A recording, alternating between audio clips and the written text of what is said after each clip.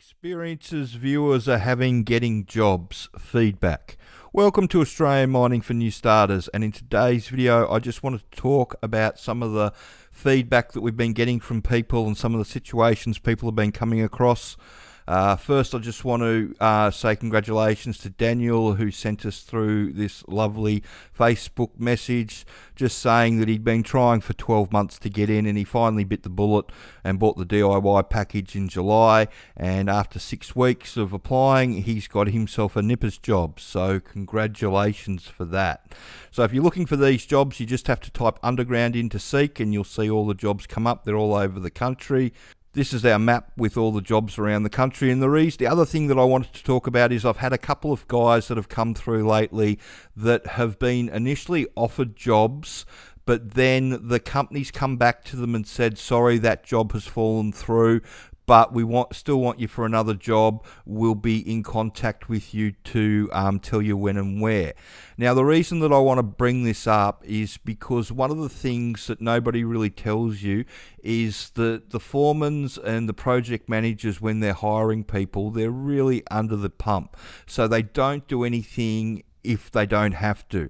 So in what the first situation, a paste fill job fell through, um, and they told him that they should have something for him in a month, and that they'd be back in contact with him, and they followed him up and all that sort of stuff. What I'm trying to say with that is that generally speaking, in the industry, if they don't want you, they'll just tell you that they don't want you or they'll ghost you. Nobody takes the time to call you up and shine you on and say, yes, we still want you, but we're just waiting on something. When someone generally does that, especially in the hard rock underground side of things, then they generally want you.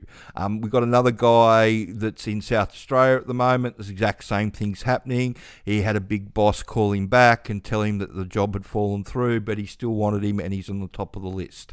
It's the same thing applies.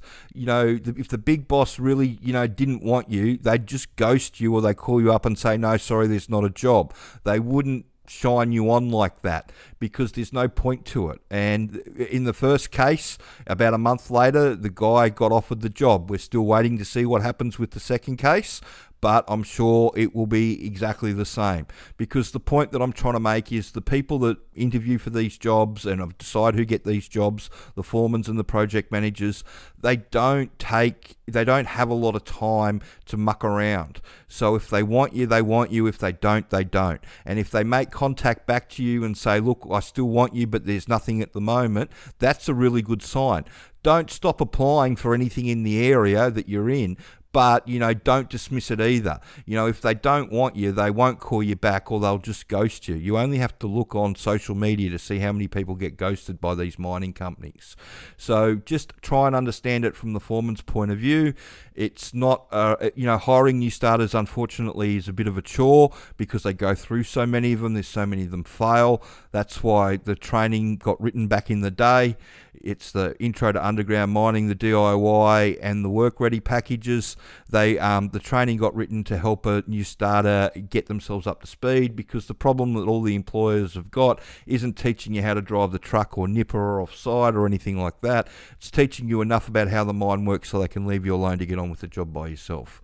Until you find your feet and you can be left alone to get on with the job safely, you haven't secured your job, unfortunately. So that's one of the big things about doing the training but there's lots of jobs around, and if you can actually hold a conversation with the foreman in the interview, like Daniel said, it took him six weeks after he did the DIY package. There's full instructions on how to redo your resume in there. There's interview prep, and um, yeah, every, if you've got any questions about how um, you want to get in or anything like that, please just send them through. You can do it either through the YouTube channel or you can do it through the website here. So I hope you found that information helpful. And remember, um, if the foreman or the project manager gets back to you and they're you know they're telling you that they still want you and all that sort of stuff, that's a really good sign because nobody does anything in this industry that they don't have to. There's just not enough time people are under the pump all the time trying to get their job done. So nobody's going to take the time to bother to call you back to shine you on and tell you that there's a job that's not going to be there if there really isn't a job there and they don't think that they've got something for you.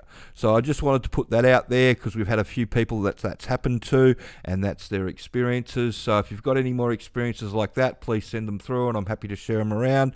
And if you could share this video around and like and subscribe the channel. Thanks.